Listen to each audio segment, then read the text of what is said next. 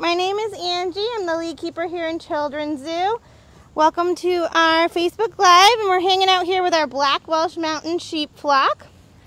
We're going to give them uh, some enrichment, see how they like playing with that. Their favorite snack is Timothy pellets, which is basically compressed Timothy hay, so they really enjoy those. And we have a flock here of seven ewes, which are female sheep.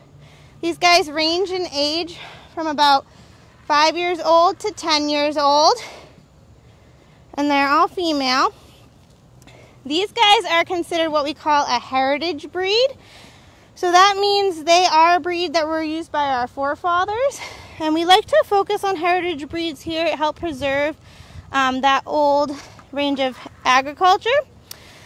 These guys are considered threatened according to the American Livestock Conservancy, which means there aren't that many left. So it's the same as looking at a wild animal. When you look at the capacity and the numbers that are out there, these guys are under the threatened status because their numbers are low. They were um, developed in Wales, hence Black Welsh Mountain Sheep. They were actually developed from the Welsh Mountain Sheep, which was a typically white breed of sheep. But they liked the black coloration so much, so they continuously bred um, black sheep that would pop up every once in a while within that population. And they developed their own breed from that. So these guys are the only fully black sheep in Britain. And they are used for both wool and meat in agriculture. So that's what's considered a dual purpose breed. They can be used for one or the other. Their wool is not as high quality as a strictly wool sheep, but it's higher quality than a sheep that's used mainly for meat. These guys, as I said, love Timothy pellets, and we do different training with them every day. When we first got this flock of girls, they were not used to direct human contact, and we did a lot of work socializing them and getting them um, good and comfortable with us. So they were used to people being around them, but no direct work.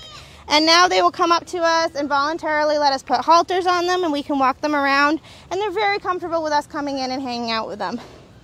They all have different personalities. Some of them very much like getting attention from keepers, and some of them don't really want anything to do with you unless you have treats, as is the case with many animals. But it's been pretty fun watching their development as they kind of learn things. So these guys do have a very thick, fluffy wool coat. Sheep in captivity do need to be sheared at least once a year. Some breeds possibly even twice a year. And that just means to take all their wool off, giving them basically a nice haircut. That is because sheep have been developed for wool use. So their wool keeps growing. They don't shed it like a dog or cat sheds their hair. If you were to leave them alone, their wool coat would just get thicker and denser and it would not come off on its own. So they need for their health and safety to be sheared. We actually have a professional shearer come in once a year to do these guys. So they were done in early July. So this is the coat that they've grown on since then. So it's about five months worth of growth. Um, but they will get very fluffy by next year.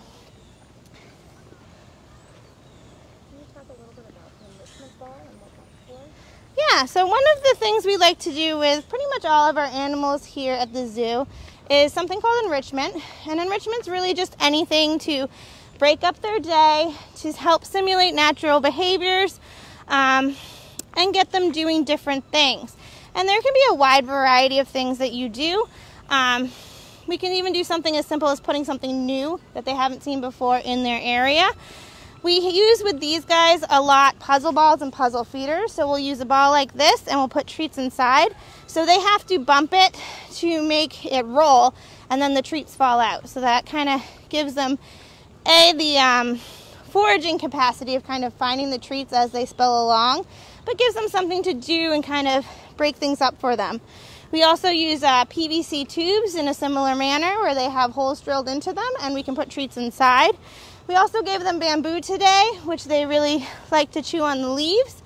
Um, we'll offer them different types of edible plants as browse. So these guys can get something that's kind of not in their normal diet. And these guys have free choice access to hay at all times. That's their primary diet. And we do use the Timothy pellets as uh, treats And they get a small portion allotted every day for that as well. So they'll kind of get a dinner of Timothy pellets. And then basically the hay is 24 7 access. And of course, they're able to eat grass out here in the field as well. Tabitha's over here kind of stealing all the crumbs. Their favorite snack is definitely the Timothy pellets. Um, we offer them different types of produce as well, but they don't seem to be as interested in them as like our goats, for example. Um, but we've tried sweet potato, apple, pears, celery with them. Some of them will eat them and some of them won't. Some of them are interested at times, but not always interested. So it's a little bit variable.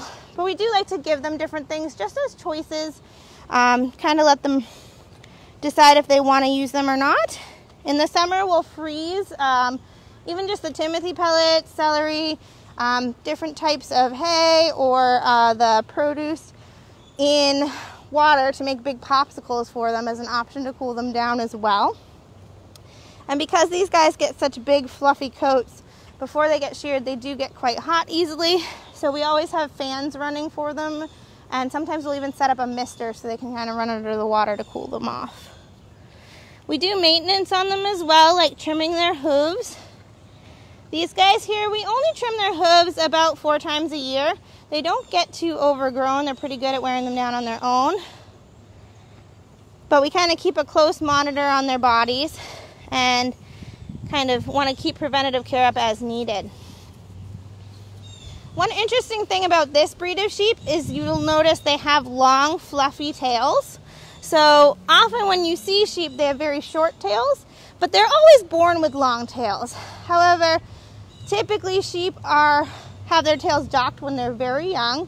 If you do it when a lamb is first born within a few days, um, it can be a relatively easy procedure, just if you've heard about puppies getting their tails docked. Um, it's done very commonly in sheep because they can get a disease called fly strike, which is when fecal matter builds up under the tails um, and then flies are attracted to it and can be really bad for young lambs.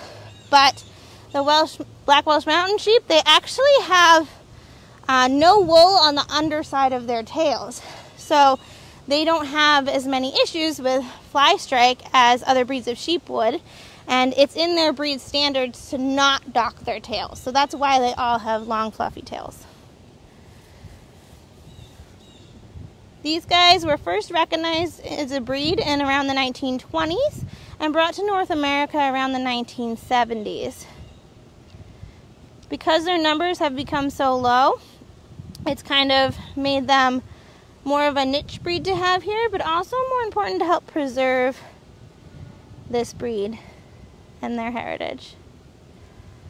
They will are born black and they will stay black throughout their lives. Their coats don't change color, but they do get different white markings on their faces. All of our girls have slightly different facial markings. It's one of our good ways to tell them apart. This is Wasilla.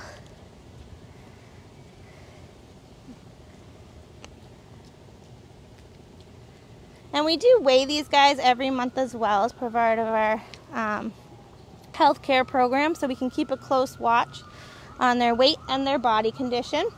So once a month, these guys will get haltered and just walk onto a scale platform. Um, they're very comfortable with the procedure and it goes very quickly. Um, and then we also keep track of their body condition score as well, which is just a method of kind of keeping them on a scale um, to kind of determine if they're on an ideal body condition or if they're under or over conditioned. Yeah? You gonna come say hello? So we've got Teresa here, and then this is Tabitha. Tabitha is probably our friendliest sheep. She literally likes getting um, pets and scratches, so she'll come right up to people for that. Teresa is one of our shyest. It took about six months before we were even able to halter her, just with very slow conditioning. We want the experience to always be positive for the animals, and we let them choose to participate. So they always get the choice of whether they're going to participate in training or not. Um, we don't want to force them to do anything they don't want to do. But Now, even Teresa, who, as I said, is one of our shyest, she will come right over for snacks. She'll let us put a halter on her without any problems, and she does really great. Huh.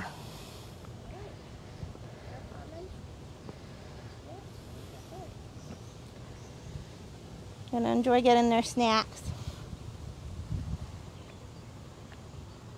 Hi, Gabby. Good girl. All right, thanks everyone for coming out, and feel free to let us know if you have any more questions.